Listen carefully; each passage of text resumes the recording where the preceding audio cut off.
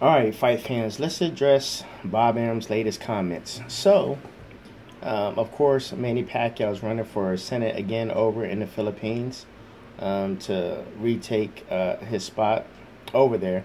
And, you know, Manny Pacquiao just recently fought Timothy Bradley. So, with that, you know, Bob Arum didn't want to rule out that this was um, Manny Pacquiao's last fight, his retirement, because, you know, he might not win Senate, you know, he might not win. And, you know, right now, after his gay comments, you know, it kind of tarnishes his reputation.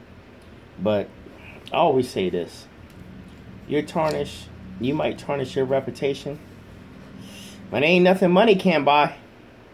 Money and a lot of money earned Manny Pacquiao his spot in the Senate back in the Philippines.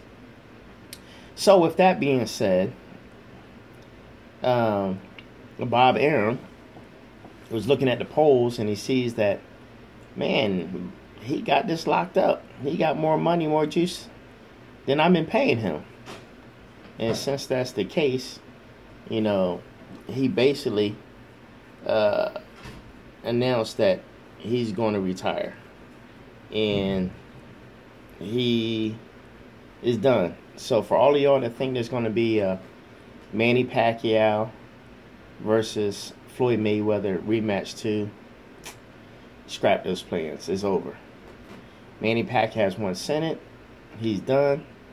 No more boxing. He's officially retired.